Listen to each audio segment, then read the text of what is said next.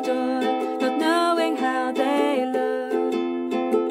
The middle's travel, using a compass that is the star.